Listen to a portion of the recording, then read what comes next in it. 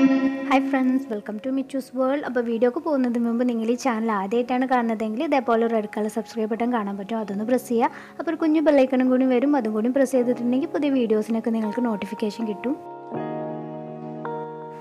നമ്മളെ വീട്ടിലൊക്കെ പഴയ ക്ലോക്കുകളും ഫ്രെയിമുകളൊക്കെ ഉണ്ടെങ്കിൽ അതൊന്നും ഇനി കളയേണ്ട ആവശ്യമില്ല.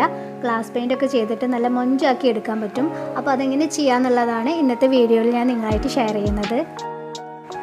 അപ്പോൾ ഗ്ലാസ് പെയിന്റ് എങ്ങനെ ചെയ്യാമെന്ന് ചോദിച്ചിട്ട് എന്റെ ഫ്രണ്ട് സാലിഹ റിക്വസ്റ്റ് ചെയ്തിട്ടുള്ള ഒരു വീഡിയോയും കൂടിയാണിത്.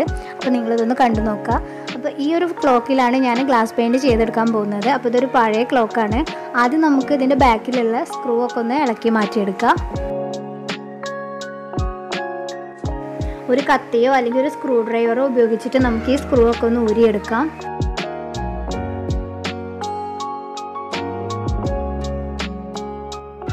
പല ക്ലോക്കുകളും പല ടൈപ്പ് ആയിരിക്കും. അപ്പോൾ ആ ക്ലോക്കിന്റെ ഫ്രണ്ടിൽ നമുക്ക് ഒരു ഗ്ലാസ് കാണാൻ പറ്റും. അപ്പോൾ ആ ഗ്ലാസ്സിന്മേലാണ് നമ്മൾ ഈ ഗ്ലാസ് പെയിന്റ് ചെയ്തെടുക്കുക. അപ്പോൾ ക്ലോക്കിന്റെ ഫ്രെയിമൊക്കെ മാറ്റി അതിന്റെ ഉള്ളിലുള്ള ഗ്ലാസ് നമ്മൾ കഴുകി വൃത്തിയാക്കി തുടച്ചെടുക്കണം. അപ്പോൾ ഗ്ലാസ് ഒക്കെ നല്ല തുടച്ച് വൃത്തിയാക്കി ഉണക്കിയെടുത്തിട്ടുണ്ട്. നമ്മൾ ഈ ഗ്ലാസ്സുമേലാണ് ഗ്ലാസ് പെയിന്റ് ചെയ്യാൻ പോകുന്നത്. അപ്പോൾ ഈ ഒരു ചിത്രമാണ് ഞാൻ ഗ്ലാസ് പെയിന്റിൽ വരച്ചെടുക്കാൻ പോകുന്നത്. ചെറിയ കുട്ടികളുടെ ഡ്രോയിങ് ബുക്കിലുള്ള ചിത്രങ്ങളും അതുപോലെ നമുക്ക് പുറത്തുനിന്നും നമുക്ക് അടിപൊളി ചിത്രങ്ങളൊക്കെ മേടിക്കാൻ കിട്ടും. അപ്പോൾ അത് വെച്ചിട്ടും ഇതേപോലെ ഗ്ലാസ് പെയിന്റ് ചെയ്തെടുക്കുക. അപ്പോൾ അതിന് വേണ്ടിയിട്ട് ആദ്യം നമ്മൾ ചിത്രം താഴെ വെച്ചിട്ട് അതിന്റെ മുകളിലായിട്ട് നമ്മൾ ഈ ഗ്ലാസ് വെക്കണം. ഞാനിവിടെ ഫെവിക്രില്ലിന്റെ ഗ്ലാസ് പെയിന്റാണ് യൂസ് ചെയ്യുന്നത്. അപ്പോൾ ഈ ഒരു പാക്കറ്റിൽ ആറ് കളറാണ് ഉണ്ടാവുക. അതിന്റെ കൂടെ ഒരു ലൈനറും കൂടി ഉണ്ടാകും.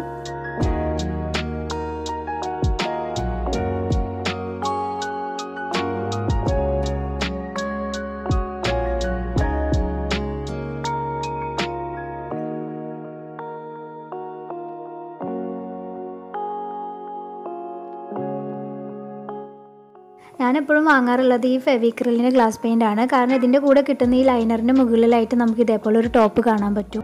ഔട്ട്ലൈനൊക്കെ വരക്കുന്ന സമയത്ത് നല്ല തിന്നായിട്ട് നമുക്ക് വരച്ചെടുക്കാൻ പറ്റും. ആദ്യം നമ്മൾ ഈ ലൈനറിന്റെ മുകളിലുള്ള മൂടി മാറ്റിയിട്ട് ഇതിന്റെ കൂടെ കിട്ടുന്ന ടോപ്പ് അറ്റാച്ച് ചെയ്ത് കൊടുക്കണം. അപ്പോൾ ഗ്ലാസ് ലൈനർ റെഡി ആയിട്ടുണ്ട്. ഇനി നമുക്ക് ഔട്ട്ലൈനൊക്കെ വരച്ചു തുടങ്ങാം. മെഹന്തി ഇടുന്ന ടൈമിൽ നമ്മളൊരു വേസ്റ്റ് ക്ലോത്ത് കൈ പിടിക്കുന്നത് പോലെ തന്നെ ഈ ഗ്ലാസ് ലൈനർ കൊണ്ട് വരക്കുമ്പോഴും നമ്മളൊരു വേസ്റ്റ് ക്ലോത്ത് പിടിക്കുന്നത് നന്നായിരിക്കും.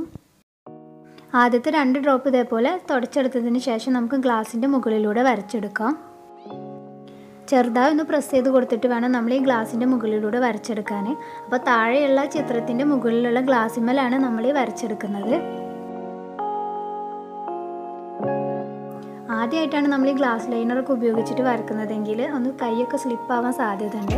അപ്പോൾ ആദ്യം നമ്മൾ വേറെ എവിടെയെങ്കിലുമൊക്കെ ഒന്ന് വരച്ച് നോക്കി ഒന്ന് റെഡിയാക്കിയതിന് ശേഷം നമ്മൾ ഗ്ലാസിന്റെ മുകളിൽ വരച്ചാൽ മതി. താഴെയുള്ള ചിത്രത്തിന്റെ ആ ഒരു സ്കെച്ച് നമുക്ക് ഈ ഗ്ലാസിന്റെ മുകളിൽ ഇതേപോലെ വരച്ചെടുക്കാം.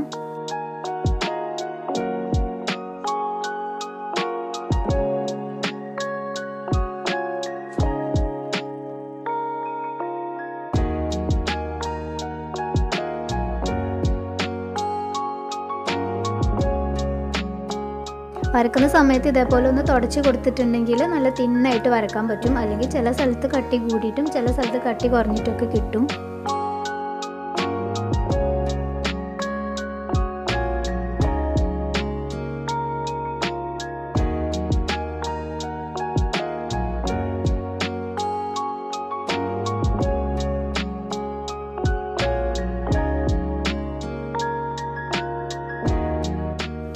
അങ്ങനെ ഔട്ട്ലൈൻ ഒക്കെ നല്ല വൃത്തിയായി വരച്ച് കിട്ടിയിട്ടുണ്ട്. ഇനി നമുക്കിതൊരു എട്ട് മുതൽ പത്ത് മണിക്കൂർ വരെ ഡ്രൈ ആവാൻ വെക്കണം.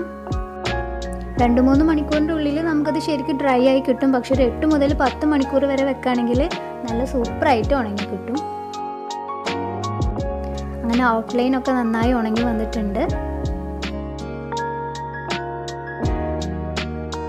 ഇനി അടുത്തത് ചെയ്യേണ്ടത് നമ്മളൊരു വൈറ്റ് കളർ പേപ്പർ ഇതിന് താഴെയായിട്ട് വെച്ച് കൊടുക്കുക നമ്മൾ ഗ്ലാസ് പെയിന്റ് ചെയ്യുന്ന സമയത്ത് നല്ല കറക്റ്റായിട്ട് കാണാൻ വേണ്ടിയിട്ടാണ് ഒരു വൈറ്റ് കളർ പേപ്പർ ഇതിന്റെ താഴെ വെച്ച് കൊടുക്കേണ്ടത്.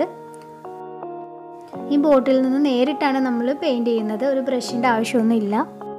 അപ്പോൾ പെയിന്റ് ചെയ്യുന്ന സമയത്ത് ഒരു വേസ്റ്റ് ക്ലോത്ത് പിടിക്കുന്നത് നന്നായിരിക്കും. ആദ്യത്തെ ആ ഒരു പെയിന്റ് കളഞ്ഞതിന് ശേഷം നമുക്ക് ഇതേപോലെ പെയിന്റ് ചെയ്തെടുക്കാം. അപ്പോൾ പെയിന്റ് ചെയ്യുന്ന സമയത്ത് ഇതേപോലെ ബബിൾസ് ഒക്കെ വരാൻ സാധ്യതയുണ്ട്. അത് നമ്മൾ കൈ ഉപയോഗിച്ചിട്ട് തന്നെ നമുക്കത് പൊട്ടിച്ച് കളയാം. പെയിന്റ് ചെയ്യുന്ന സമയത്ത് ഈ ബോട്ടിൽ പ്രസ് ചെയ്യേണ്ട ആവശ്യമൊന്നുമില്ല. ജസ്റ്റ് കമഴ്ത്തി പിടിക്കുമ്പോൾ തന്നെ ഇതിന്റെ ഉള്ളിലൂടെ പെയിന്റ് പുറത്തേക്ക് വന്നോളൂ. അപ്പോൾ നമുക്ക് എളുപ്പത്തിൽ പെയിന്റ് ചെയ്യാൻ പറ്റും. ഞാനിവിടെ ഫ്ലവേഴ്സിനൊക്കെ ഒരു യെല്ലോ കളറും ഉള്ളിലൊരു റെഡ് കളറാണ് കൊടുക്കുന്നത്. അപ്പോൾ നമ്മൾ ഇഷ്ടത്തിനനുസരിച്ചിട്ട് നമുക്ക് ചെയ്തെടുക്കാൻ പറ്റും.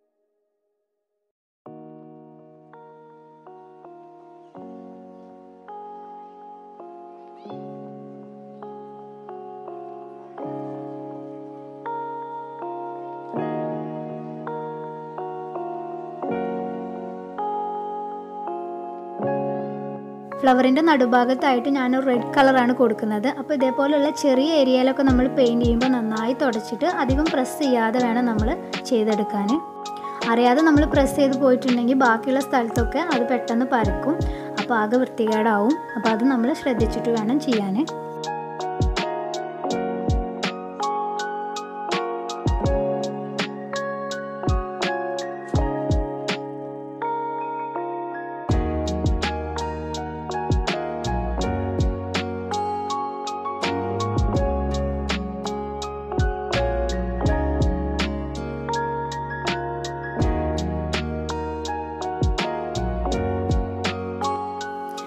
എല്ലാ ഭാഗത്തും കളറൊക്കെ കൊടുത്ത് കഴിഞ്ഞിട്ടുണ്ട്. ഇനി ഇതൊരു എട്ട് മുതൽ പത്ത് മണിക്കൂർ വരെ നമ്മൾ ഉണങ്ങാൻ വെക്കണം.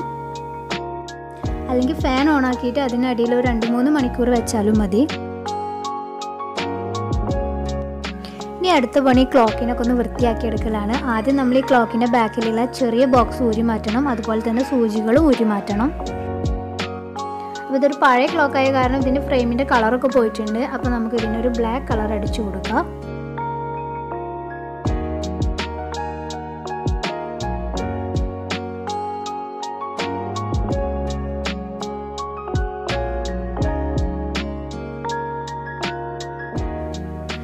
നമ്മുടെ ഗ്ലാസ് പെയിന്റ് നന്നായി ഉണങ്ങി കിട്ടിയിട്ടുണ്ട്. അപ്പോൾ ഇതിന്റെ മുകളിൽ ചെറുതായി പൊടിയൊക്കെ കാണാൻ പറ്റും.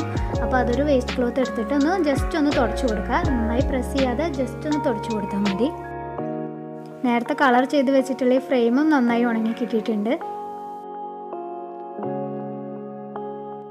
ഇനി അടുത്ത് ചെയ്യേണ്ടത് നമ്മൾ ഇതേപോലെ ഒരു അലുമിനിയം ഫോയിൽ ഒന്ന് മുറിച്ചെടുക്കുക. കുറച്ച് നീളത്തിൽ വേണം നമ്മൾ മുറിച്ചെടുക്കാൻ. ഇനി വീഡിയോയിൽ കാണുന്നതുപോലെ ഈ ഫോയിലിന്റെ എല്ലാ ഭാഗവും ഒന്ന് ചുരുട്ടിയിട്ട് ഒന്ന് നിവർത്തിയെടുക്കണം.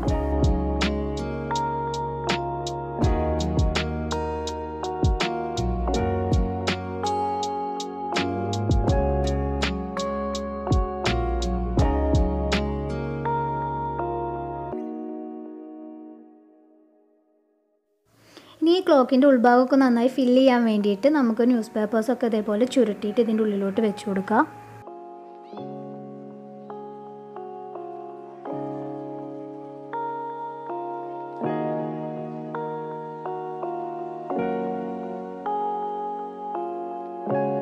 ഇതിന് മുകളിലായിട്ട് നേരത്തെ ചുരുട്ടി നിവർത്തി എടുത്തിട്ടുള്ള അലുമിനിയം ഫോയിലും വെച്ച് കൊടുക്കാം.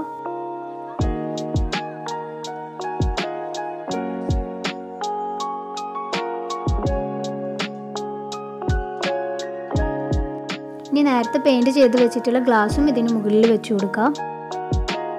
ഈ ഗ്ലാസിന്റെ താഴെയുള്ള അലുമിനിയം ഫോയിൽ താഴ്ന്നു പോയിട്ടുണ്ടെങ്കിൽ അതിനടിയിലുള്ള ന്യൂസ് പേപ്പർ നമുക്ക് അഡ്ജസ്റ്റ് ചെയ്തിട്ട് കറക്റ്റ് ആക്കാൻ പറ്റും.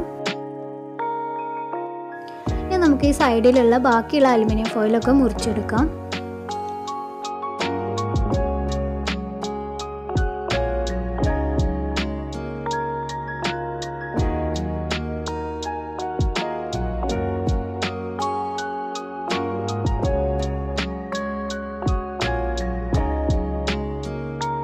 ഇനി അവസാനം നമ്മൾ ഈ ക്ലോക്കിന്റെ ഫ്രെയിം ഇതിന്റെ മുകളിലോട്ട് വെച്ച് കൊടുക്കാം. ആദ്യം നമ്മൾ ഊരി എടുത്തിട്ടുള്ള സ്ക്രൂ ഒക്കെ ഇതിൽ വീണ്ടും ഫിറ്റ് ചെയ്ത് കൊടുക്കാം.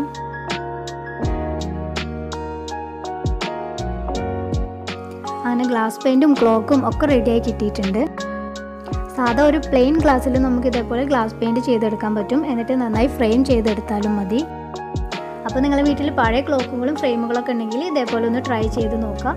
നല്ല ഭംഗിയായിരിക്കും കാണാൻ പിന്നെ നിങ്ങൾക്ക് ഈ വീഡിയോ ഇഷ്ടമായിട്ടുണ്ടെങ്കിൽ ലൈക്ക് ചെയ്യാനും ഷെയർ ചെയ്യാനും കമന്റ് ചെയ്യാനൊന്നും മറക്കരുത്. അതുപോലെ ഈ ചാനൽ സബ്സ്ക്രൈബ് ചെയ്യാനും മറക്കരുത്. ഇൻഷാല്ല അടുത്തൊരു വീഡിയോ ആയിട്ട്